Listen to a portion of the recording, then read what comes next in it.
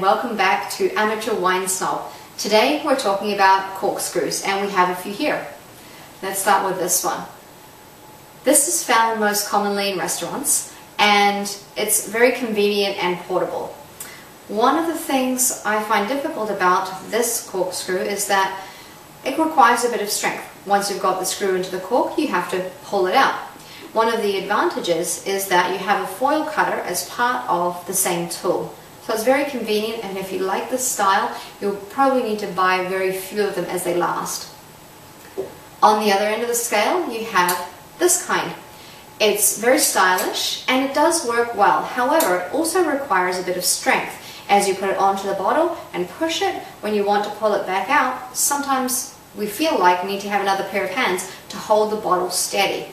Also, it comes in two pieces. The foil cutter is separate. So somewhere in the middle is this little tool. This one we don't see around too often, but it's very handy. It's called a Brabantia.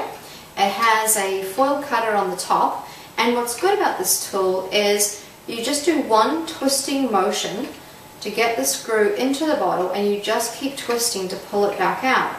Also, the way it's set, is that the screw will not go through the cork, so you're not going to end up with pieces of cork inside your bottle. So that's great.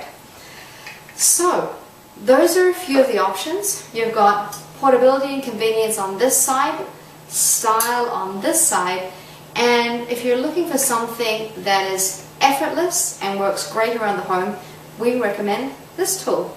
But as usual, it's all about preference. Enjoy!